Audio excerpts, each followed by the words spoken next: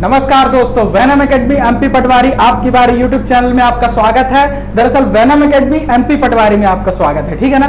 चलिए आइए देख लेते हैं आज का पहला क्वेश्चन पहला क्वेश्चन क्वेश्चन में कोई पूछ रहा हूँ? देखिए, कुछ लोगों को एवरेज टॉपिक बहुत अच्छे से आता है तो जो लोग इस टॉपिक में बहुत कॉन्फिडेंट है, वही इस क्वेश्चन का उत्तर दे। बाकी लोग मेरे साथ पहले टॉपिक पढ़ेंगे, उसके बाद देंगे, ठीक है ना? तो क्वेश्चन सुनिए क्वेश्चन सुनिए। कमेंट सेक्शन में आपको क्या करना है? आंसर करना है, ठीक है ना? कमेंट सेक्शन देखिए, मेरे पास चार नंबर है, चार नंबर उनका औसत मेरे पास कितना है चौबीस है। उनका औसत कितना है? चौबीस है। यदि इन चार नंबर में, यदि इन चार नंबर में मैं दो का भाग दे दूँ तो हमारा औसत कितना हो जाएगा? इस चार नंबर में अगर मैं दो का गुणा कर दूँ तो हमारा औसत कितना हो जाएगा? इन चार नंबर में अगर मैं दो का जोड़ कर दूँ तो मेरा औसत कितना हो जाएगा? और अगर इन चार नंबर में मैं दो का घटाना कर दूँ तो हमारा आंसर कितना आ जाएगा? तो एवरेज पे भाग, गुणा, जोड़ और घटाने का इस एवरेज पे क्या प्रभाव पड़ेगा? अगर मैं चारों नंबर में दो का भाग करूँ, चारों नंबर में दो का गुणा करूँ, चारों नंबर में दो का जोड़ करूँ और चारों नंबर में दो को घटाऊं। तो जी, जो लोग जो लोग हमारे सुपर थर्टी बैच से जुड़े हुए हैं और बहुत ही कॉन्फिडेंट है एवरेज में, वो ही सिर्फ़ इसका आंसर करे। बाकी लोग आ जाए, मेरे साथ टॉपिक डिस्कस करते हैं। ठीक है ना? चलो आओ। तो आज का हमारा टॉपिक क्या है? आओ देख लेते हैं। आज का टॉपिक है, जैसा कि आप लोगों ने देखा एवरेज ठीक है? अब अब वो स्टूडेंट्स देखें, जिन लोगों को ये टॉपिक थोड़ा समझना है। और जो लोग जिनको आता है, वो इसका आंसर करने के बाद तुरंत क्या करेंगे? एक बार रिवीजन कर लेंगे, ठीक है ना? एक बार रिवीजन ज़रूर करेंगे, ठीक है? चलिए आइए तो एवरेज सबसे पहले एवरेज क्या होता है? किसी चीज़ को बैलेंस करना। अपनी ही एक्टिविटी को, अपनी ही एक्टिविटी को बैलेंस कर लो एवरेज कर लो। यानी तुम अगर रोज छह बजे उठते हो, किसी दिन सात बजे उठते हो, किसी दिन आठ बजे उठते हो, और तुम्हें अगर कोई एक टाइम बताना है कि भाई बताओ कि तुम कितने बजे उठते हो, ठीक है ना?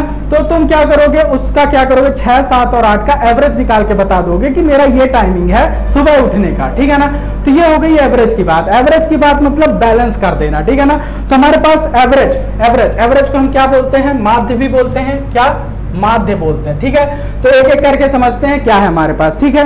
अब देखो, एवरेज, सबसे पहले तो एवरेज होता क्या है, वो जान लो, एवरेज औसत औसत। औसत क्या होता है हमारे पास? Sum of sum of observation, sum of observation observation, sum of observation यानी आंकड़ों का आंकड़ों का योग, आंकड़ों का योग upon number of number of observation number of observation यानी आंकड़ों की संख्या। यानी क्या होता है? आंकड़ों की आंकड़ों की संख्या। ठीक है?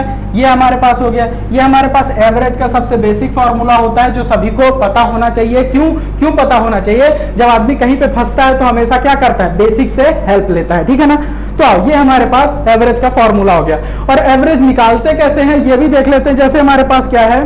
कुछ संख्या लिखी हुई है कितनी? चालीस, पचास, साठ, सत्तर, पैंतालीस और पैंतीस। ठीक है ना? ये हमारे पास संख्या लिखी हुई है। इसका हमें क्या फाइंड करना है? एवरेज फाइंड करना है एवरेज तो सबसे पहले हम क्या करेंगे? ये हमारे पास क्या है? ऑब्जर्वेशन है। इतने सारे हमारे पास आंकड़े हैं। इनको क्या करो? सम कर दो। तो सम करोगे तो इसका सम कितना आएगा? आप लोग करके लाना, मैं लिख के लाया हूँ। ठीक है? चलो, आ जाओ। सम कितना होगा इनका? 300 ठीक है ना? सम कितना होगा? 300 और हमारे पास नंबर ऑफ़ ऑब्जर्वेशन कितने? एक, दो, तीन, चार, पाँच, छह। तो हमारे पास छह ऑब्जर्वेशन है। तो हमारे पास इसका एवरेज कितना निकल के आ जाएगा? 50 और यही आपका क्या हो जाएगा? आंसर मैंने जस्ट ये क्वेश्चन इसलिए बताया है क्योंकि आप भरोसा नहीं करोगे हर सेट में। हर सेट में केवल ऐसे ही क्वेश्चन पूछे गए हैं कि इनका एवरेज एवरेज निकाल के बताओ। हर सेट में ऐसे क्वेश्चन पूछे गए, एक नहीं दो दो क्वेश्चन पूछे गए हैं, ठीक है ना? तो कहने को सरल है, लेकिन जब यही पूछे जा रहे हैं तो फोकस भी इन पे कर लो फोकस भी इन पे कर लो, ठीक है ना? चलो, एक बार स्क्रीनशॉट ले लो, फिर आगे चलते हैं, ठीक है? स्क्रीनशॉट ले लिया, चलो आओ कुछ आगे की बात करते हैं, ठीक है ना? अब देखो नेचुरल नंबर मैंने किसको किसको बताया है? नेचुरल नंबर नंबर सिस्टम में करा दिया है, ठीक है ना? तो अब हमारे पास अगला टॉपिक क्या है कि नेचुरल नंबर का एवरेज कैसे निकालेंगे, ठीक है ना? नेचुरल नंबर तो हमारे पास सबसे पहले क्या है? फ़र्स्ट एन नेचुरल नंबर का एवरेज ठीक है ना? First first N natural number natural number का एवरेज एवरेज यानी पहली पहली पहली एन प्राकृतिक संख्याओं मैं हिंदी में भी बोल रहा हूँ इंग्लिश में भी लिख रहा हूँ, ठीक है ना? बायलिंगुअल क्लास चल रही है, ठीक है? तो चलो, प्रथम एन प्रथम एन प्राकृतिक संख्याओं का योग कितना होता है, कोई मुझे यह बता दे। अगर बनता है तो कमेंट सेक्शन में बताना। प्रथम एन क्या लिखूँगा? प्रथम एन प्राकृतिक प्राकृतिक संख्या संख्या का योग योग। योग कितना होता है हमारे पास? प्रथम n प्राकृतिक संख्याओं का योग n into N plus one divided by two N into N plus one divided by two ठीक है ना? तो ये हमारे पास क्या होता है? प्रथम एन प्राकृतिक संख्याओं का योग। और अगर इसका एवरेज निकालना हो एवरेज निकालना हो तो हम क्या करेंगे? प्रथम एन यानी हमारे पास नंबर ऑफ़ ऑब्जर्वेशन कितने हैं? एन है। नंबर ऑफ़ ऑब्जर्वेशन कितने हैं? एन है। और इन ऑब्जर्वेशन का योग कितना है? N into N plus one divided by two तो हमारे पास सम ऑफ़ ऑब्जर्वेशन कितना हो गया? N into N plus one divided by two और अपॉन में क्या कर देंगे? नंबर ऑफ़ ऑब्जर्वेशन यानी टोटल नंबर ऑफ़ ऑब्जर्वेशन यानी हमारे पास कुल आंकड़ों की संख्या कितनी हो गई? एन है और हमारे पास नंबर ऑफ़ ऑब्जर्वेशन जो सम है सम है। यन संख्याओं का सम है, यन प्राकृतिक संख्याओं का। प्रथम एन प्राकृतिक संख्याओं का जो सम है, वो यहाँ पे आ गया। इसको थोड़ा सॉल्व करेंगे तो हमारे पास ये एन से एन कट जाएगा और हमारे पास कितना आ जाएगा? N plus one divided by two और यही हमारा क्या हो जाता है? एवरेज ठीक है ना? एवरेज चलो चेक भी कर लेते हैं क्या ये सही है। जैसे जैसे, एक, दो, तीन, चार। ये हमारी प्राकृतिक संख्याएँ हैं। कैसे पता चलेगा? एक से स्टार्ट हो रही है, समूह है, ठीक है ना? तो ये हमारी प्राकृतिक संख्याएँ हैं। इनका एवरेज कैसे होगा? पहले हम नॉर्मल निकालते हैं नॉर्मल निकालते हैं। चार, तीन, सात, दो, नौ, एक, दस। दस बटे एक, दो, तीन, चार। दस बटे चार, ठीक है ना? दस बटे चार, हमारा क्या आ गया? एवरेज आ गया एवरेज आ गया। अब इसको इस फॉर्मूले से निकालते हैं। चार का, चार तक का सम क्या हो जाएगा? तो हमारे पास सम क्या होता है? N into N plus one divided by two four into four plus one divided by two, ठीक है ना? डिवाइडेड बाई टू तो हमारे पास कितना हो जाएगा? दो दूनी चार और पाँच दूनी दस दस। और टोटल नंबर ऑफ़ ऑब्जर्वेशन हमारे पास कितने हैं? एक, दो, तीन, चार। तो बटे चार, दस बटे चार, यानी दोनों से हमारा आंसर क्या आ रहा है? दोनों से हमारा आंसर क्या आ रहा है? सेम आ रहा है। दोनों से हमारा आंसर क्या आ रहा है? सेम आ रहा है। मतलब ये दोनों प्रॉपर्टी हमारी सही है, ठीक है? आप लोग टेंशन मत लीजिए। जो लोग अपने से नोट्स बना रहे हैं, बहुत अच्छा है। बाकी बाकी लोग क्या करें? ये देखिए हैंड रिटन नोट्स है। पूरी हैंड रिटन नोट्स है, कोई कॉपी पेस्ट इसमें नहीं है, ये आप लोगों को प्रोवाइड कर दी जाएगी, ठीक है ना? देखिए, पूरी हैंड रिटन नोट्स है, ठीक है? चलिए, आगे चलते हैं। आगे चलते हैं, कोई टेंशन नहीं लेगा, ठीक है ना? चलो, इसको नोट कर लिया, आगे देखते हैं। आगे देखते हैं अगला हमारे पास क्या है? प्रथम एन प्राकृतिक संख्याओं का योग कितना होता है? N into N plus one divided by two ठीक है ना? चलो, आ जाओ। अगला क्या है? प्रथम एन क्या होगा? प्रथम एन प्राकृतिक प्राकृतिक संख्या संख्या के वर्गों का योग, के वर्गों का योग। प्रथम एन प्रथम एन प्राकृतिक संख्या के वर्गों का योग क्या होता है? वर्गों का योग, फॉर्मूला पता है? क्या होता है? क्या होता है? N into N plus one और क्या होता है? Two N plus one divided by six divided by six ये क्या होता है? प्रथम एन प्राकृतिक संख्याओं के वर्गों का योग। जैसे एक का स्क्वायर प्लस दो का स्क्वायर प्लस तीन का स्क्वायर प्लस चार का स्क्वायर अगर कुछ ऐसी सीरीज़ हमारे पास दी हुई है, अगर कुछ ऐसी सीरीज़ हमारे पास दी हुई है तो ये हमारे पास क्या है? वन टू थ्री फोर हमारे पास क्या हो जाएँगे? हमारे नेचुरल नंबर हो जाएँगे। यानी कि प्राकृतिक संख्या हो जाएँगे और अगर आपको इनका योग निकालना है तो ये आपके पास फॉर्मूला है, ठीक है ना? और हमारे पास टोटल कितनी प्राकृतिक संख्या है? एन प्राकृतिक संख्याएँ हैं। तो अगर मैं अगर मैं इसका इन्हीं प्राकृतिक संख्याओं का एवरेज की बात करूँ एवरेज की बात करूँ तो एवरेज में जस्ट आपको क्या रिमूव कर देना है? इस एन को, इस एन को यहाँ से हटा देना है। और क्या लिख देना है? एन प्लस वन और two N plus one divided by six और ये आपका क्या हो जाएगा? एवरेज का फॉर्मूला हो जाएगा। जस्ट मैंने कुछ नहीं किया, बस इस एन को हटा दिया। क्यों? क्योंकि ये हो गया हमारा क्या? Sum.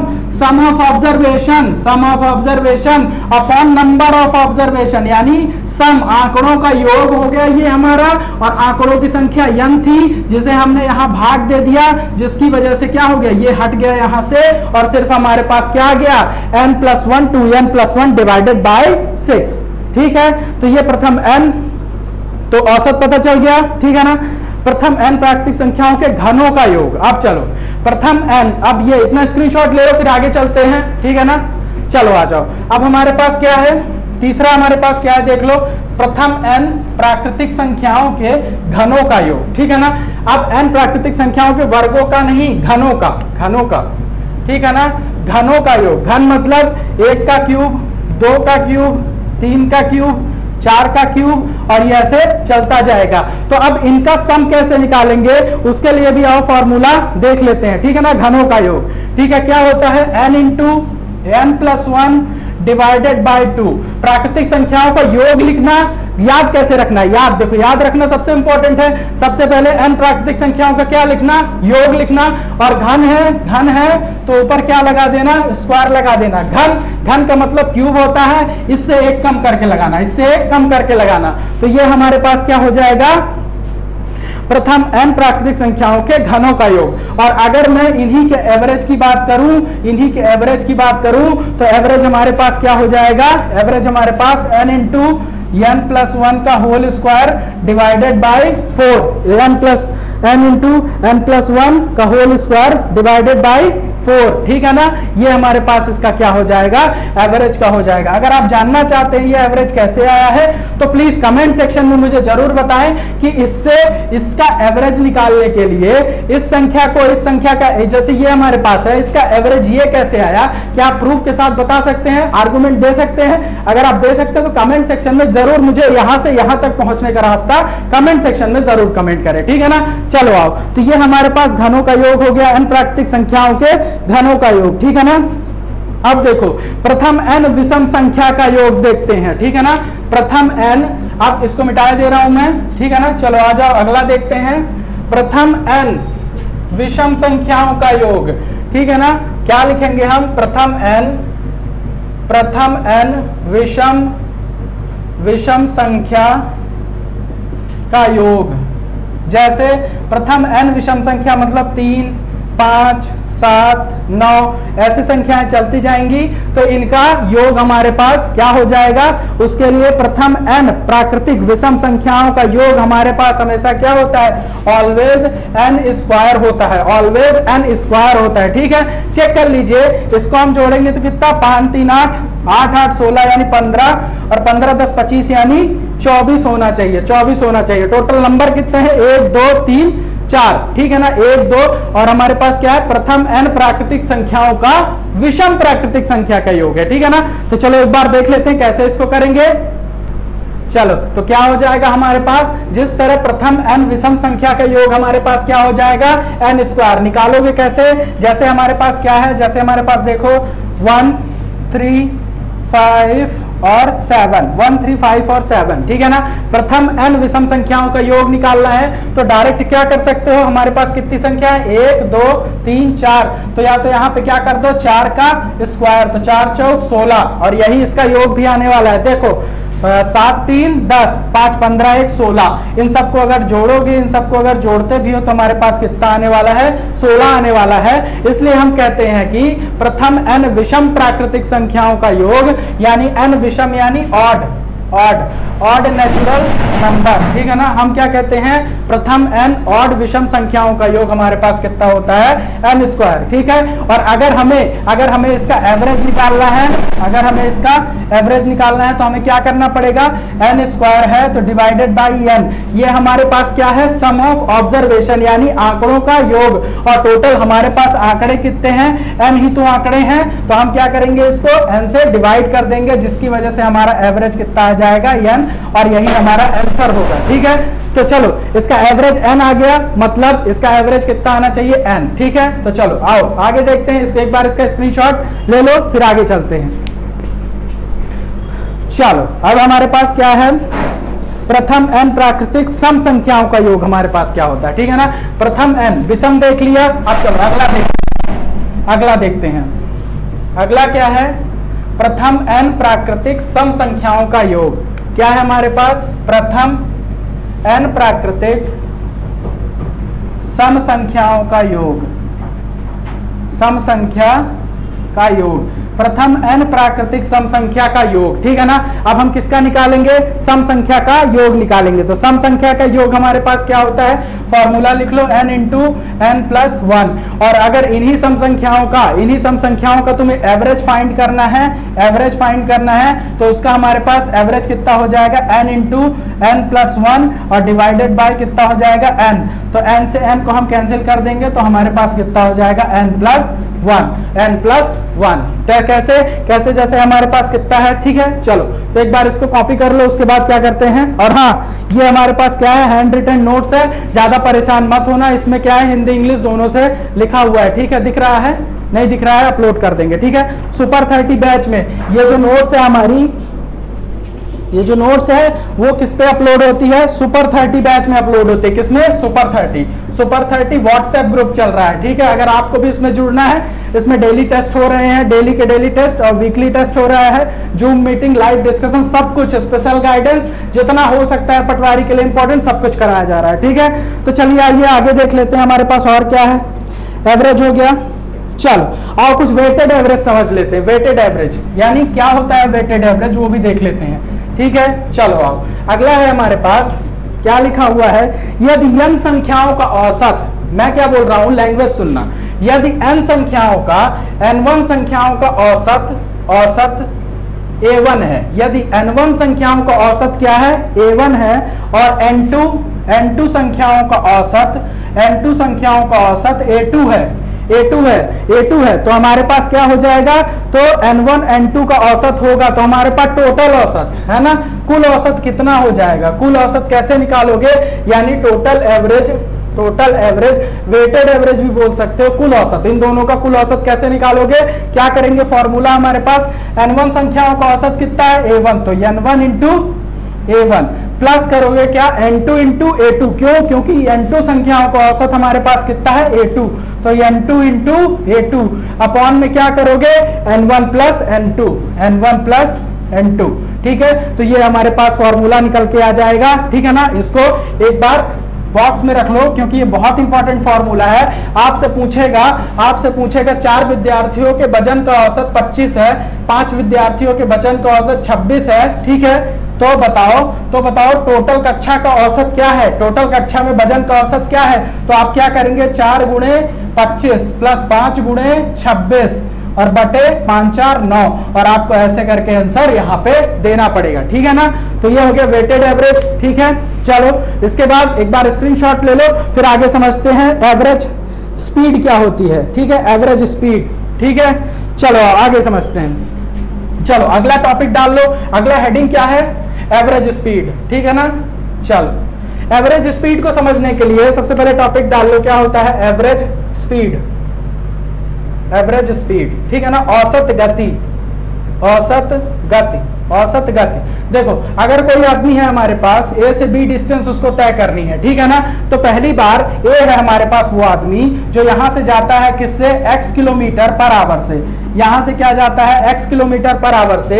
और ये डिस्टेंस हमारे पास क्या है? सेम है। डिस्टेंस कांस्टेंट है, ठीक है ना? तो यहाँ से वो क्या करता है? एक्स किलोमीटर पर आवर से यहाँ से यहाँ तक ट्रेवल करता है और यहाँ से यहाँ तक वो फिर से ट्रेवल करता है किस स्पीड से? वाई किलोमीटर पर आवर से। तो आपको क्वेश्चन में पूछेगा कि बताओ एवरेज स्पीड क्या होगी इसकी? एवरेज स्पीड यानी क्या होता है हमारे पास? औसत गति। औसत गति हमारे पास क्या हो जाएगी? तो हम कैसे लिखेंगे? डायरेक्ट फॉर्मूला लिख लेना, फिर उसको जब क्वेश्चन प्रैक्टिस करेंगे तो इसके और अंदर तक नसों को खोद के निकालेंगे। ठीक है ना? चलो आ जाओ। तो हमारे पास क्या होगा?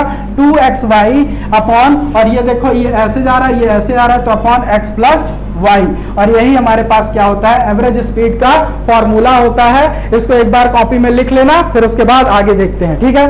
ले लो स्क्रीनशॉट चलो। चलिए, कुछ क्वेश्चन कर लेते हैं। क्वेश्चन क्या है हमारे पास? क्वेश्चन क्या है? चलिए, आइए देखते हैं। प्रथम, पहला क्वेश्चन हमारे पास क्या है? प्रथम प्रथम, तिहत्तर संख्याओं का प्रथम तिहत्तर संख्या का एवरेज निकालना है। एवरेज निकालना है, यानी प्रथम प्रथम, यानी first N first N 73 number का, ठीक है ना? हमें क्या करना है? एवरेज निकालना है। तो सबसे पहले एवरेज निकालने के लिए हमें तिहत्तर संख्याओं का योग तो पता होना चाहिए। तो तिहत्तर नेचुरल नंबर प्राकृतिक संख्याओं का योग का फॉर्मूला क्या लिखा था? N into N plus one divided by two तो एक बार करके देख लो इसको। 73 थ्री इंटू क्या हो जाएगा? 73 three into 74 divided by two 73 three into seventy divided by two और अगर एवरेज निकालना है तो इसमें हमें क्या करना पड़ेगा? एन का डिवीज़न भी करना पड़ेगा, ठीक है ना? तो यहाँ पे एन का तिहत्तर का भाग भी दे दो। तिहत्तर का क्या करो? भाग भी एक बार दे के देख लो, ठीक है ना? तो ये हमारे पास क्या होगा? तिहत्तर से तिहत्तर कैंसिल हो जाएगा। और दो से इसको काटेंगे तो कितना हो जाएगा? दो तिहाई छह तो सत्ते, चौदह। और सैंतीस हमारे पास आंसर आ जाएगा। प्रीवियस ईयर पेपर में प्रीवियस ईयर पेपर में बहुत हल्के हल्के क्वेश्चन आ रहे हैं। मैंने कम से कम आठ से दस सेट में देखा है। सिर्फ़ आपको वो पाँच से छह आंकड़े दे रहा है ऑब्जर्वेशन दे रहा है और उनका योग करके बस डिवाइड करना है। उस तरह से क्वेश्चन बन रहे हैं। इसलिए ऐसा मत मानिएगा कि बहुत सरल क्वेश्चन है, ठीक है? क्वेश्चन सरल आ रहे हैं तो सरल लगाओ टफ आएँगे तो टफ भी लगाएँगे। ठीक है ना? चलो आओ आगे देखते हैं। अगला क्वेश्चन हमारे पास क्या है? अगला क्वेश्चन भी देख लेते हैं। हाँ और हाँ आप लोगों से मैंने एक क्वेश्चन भी पूछा है शुरू में, उसका भी जवाब देना है। चलो और सबसे पहले उसको डिस्कस कर लेते हैं। क्वेश्चन है हमारे पास क्वेश्चन तेरह। चलिए, ठीक है, देखते हैं। चौतीस आंकड़ों, सात आंकड़ों का औसत चौतीस है, ठीक है ना? तीन आंकड़ों का औसत अट्ठाईस है तो अगले दो आंकड़ों का औसत सैतालीस है। तो अंतिम दो आंकड़ों का औसत क्या होगा, ठीक है? तो चलिए, अगला क्वेश्चन है हमारे पास। कहा गया? चलो, एक कक्षा में पंद्रह वर्ष की उम्र के दस विद्यार्थी हैं, ठीक है ना? एक कक्षा में पंद्रह वर्ष की उम्र के, पंद्रह वर्ष की उम्र के दस विद्यार्थी हैं, ठीक है ना? ये स्टूडेंट दिया हुआ है, ये उनकी क्या दी हुई है? एज दी हुई है, ठीक है ना? स्टूडेंट दिया हुआ है और एज दी हुई है, ठीक है? और दस विद्यार्थी हैं, सोलह वर्ष की उम्र के, यानी सोलह वर्ष की उम्र के कितने विद्यार्थी हैं? सोलह वर्ष की उम्र के पंद्रह विद्यार्थी हैं, ठीक है ना? पंद्रह विद्यार्थी हैं। तथा तो चौदह वर्ष की उम्र के, चौदह वर्ष की उम्र के हमारे पास कितने विद्यार्थी हैं? पाँच विद्यार्थी हैं। तो हमें क्या बताना है? तो एक विद्यार्थी की तो पाँच विद्यार्थी हो तो तो पाँच विद्यार्थी हैं तो एक विद्यार्थी की औसत उम्र, ठीक है ना? औसत एज एवरेज एवरेज हमें बताना है एवरेज ठीक है ना? टोटल एवरेज हमें बताना है यहाँ पे। तो हम क्या करेंगे? क्या करेंगे? ये देखिए वेटेड एवरेज हमारे पास क्या है? इसको इसको मल्टीप्लाई करो, इसको इसको मल्टीप्लाई करो और इसको इसको मल्टीप्लाई करो, जोड़ के total sum of observation upon number of observation हमें करना है, ठीक है ना? तो हम क्या करेंगे? सबसे पहले दस गुड़े पंद्रह, दस गुड़े पंद्रह, ठीक है ना? फिर क्या करेंगे? 16 गुणे पंद्रह, फिर क्या करेंगे? 14 गुणे पाँच। अपॉन, अब देखो, ये तो हो गया हमारे पास सम ठीक है ना? अब टोटल स्टूडेंट हमारे पास कितने हैं? 10 15 और 5 तो हम क्या लिखेंगे? 10 प्लस 15 प्लस पाँच। तो हमारे पास कितना हो जाएगा? चलो, एक बार करके इसको देख लो, एक बार करके इसको देख लो। यहाँ पे कितना आएगा? 460 यहाँ पे कितना आएगा? 460 और 10 10 20 5 25 5 तीस आएगा। यहाँ पे कितना आएगा? तीस आ जाएगा, ठीक है ना? तीस आ जाएगा। तो हमारे पास कितना आ जाएगा? ये एक ज़ीरो से एक ज़ीरो कट जाएगा।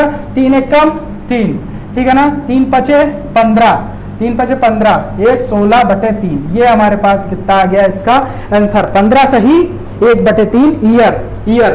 पंद्रह सही एक बटे तीन ईयर, यानी उनकी औसत आयु, इन सभी बच्चों के, इन सभी बच्चों की औसत आयु हमारे पास कितनी निकल के आ चुकी है?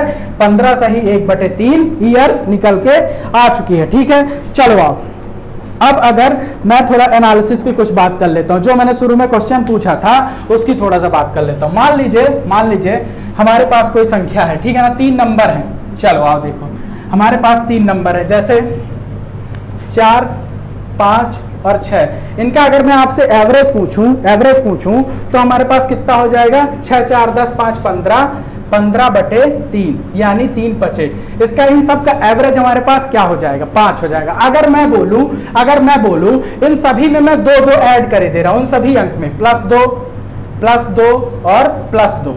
इन सभी में प्लस दो प्लस दो कर दे रहा हूँ। तो चलो ऐड करके देखते हैं। चार दो छ पाँच दो, सात, छह दो, आठ। तो अब हमारे पास अंक कितने आ गए? अंक कितने आ गए? छह, सात, आठ। तो हमारे पास कितना हो जाएगा? आठ आठ, सोलह सोलह, चार, बीस, एक, इक्कीस। हमारे पास कितना आ गया? इक्कीस बटे तीन, इक्कीस बटे तीन। और अब एवरेज देखना, अब एवरेज देखना हमारे पास कितना आ गया? तीन सते तीन सते और आप जान के शॉक्ड हो जाओगे कि देखो इनके बीच में रिलेशन क्या आ रहा है रिलेशन क्या आ रहा है? देखो, जब हमने चार, पाँच और छह का औसत निकाला तो हमारे पास कितना आ रहा है? पाँच। और अगर मैंने सभी संख्या में दो का दो का जोड़ कर दिया और फिर औसत निकाला। तो हमारे पास औसत कितना आ रहा है? सात आ रहा है। तो आप देखिए, इन दोनों के बीच में भी डिफरेंस कितने का है? प्लस टू का है। इससे हमें क्या पता चलता है? इससे हमें यह पता चलता है कि अगर अगर हमारे पास नंबर कोई सा भी हो, किसी का भी कुछ भी औसत दिया हो, अगर हम उन नंबर्स में कोई भी ऑपरेशन परफॉर्म करते हैं तो उसका असर इक्वली पड़ता है किसमें? एवरेज पे पड़ता है। ठीक है? चलो, एक और कंडीशन देख लेते हैं, एक और कंडीशन देख लेते हैं। अगर मैं इन सभी नंबर्स में, आओ, इन सभी नंबर्स में मैं क्या करूँ? दो घटा के देख लेता, दो घटा के, ठीक है ना? चलो, आओ, दो घटा के देखूँ माइनस टू करूँगा तो मेरे पास टू आ जाएगा, फिर माइनस टू करूँगा तो थ्री आ जाएगा, फिर माइनस टू करूँगा तो मेरे पास कितना आ जाएगा? फोर आ जाएगा, ठीक है ना?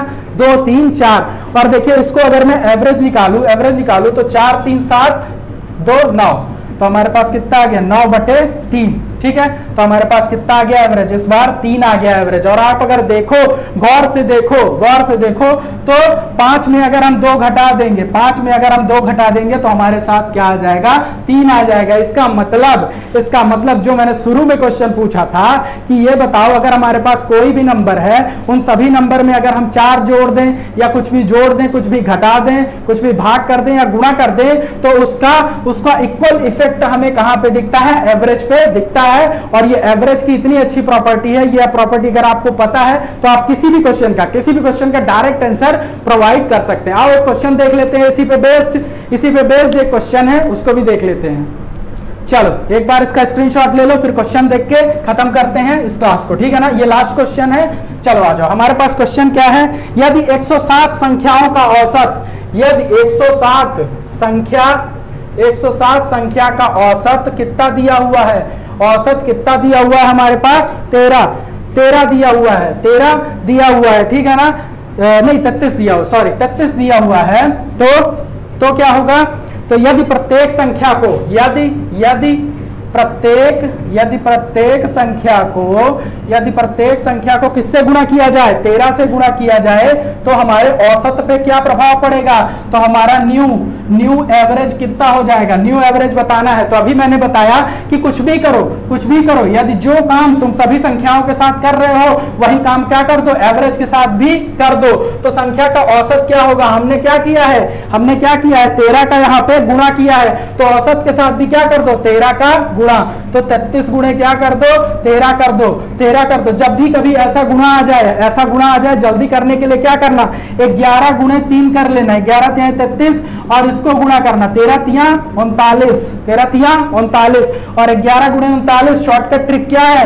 थ्री नाइन नौ, तीन, बारह की दो, हासिल एक तीन एक चार। चार सौ उनतीस, चार सौ उनतीस और यही तुम्हारा क्या हो जाएगा? आंसर हो जाएगा और ये बहुत अच्छा क्वेश्चन एग्ज़ाम में बन सकता है। डायरेक्ट आपसे पूछा जा सकता है, ठीक है? तो क्लास आपको कैसी लगी? सभी लोग ज़रूर बताएँगे। सुपर थर्टी ग्रुप में आप लोगों को अगर इनरोल होना है तो हमें मैसेज ज़रूर करें। लिंक में डिस्क्रिप्शन में दे दूँगा व्हाट्सएप नंबर भी डिस्क्रिप्शन में शो कर दूँगा, ठीक है? इसी के साथ आज की क्लास को यहीं पर समाप्त करते हैं। मिलते हैं इसके दो दिन बाद। रिविजन क्लास में कल का नया टॉपिक होगा, फिर उसके बाद इसकी रिविजन क्लास स्टार्ट होगी ठीक है ना? तो इसी के साथ आज का लेक्चर समाप्त करते हैं। धन्यवाद, पढ़ते रहिए, बढ़ते रहिए वेनम अकेडमी से जुड़े रहिए।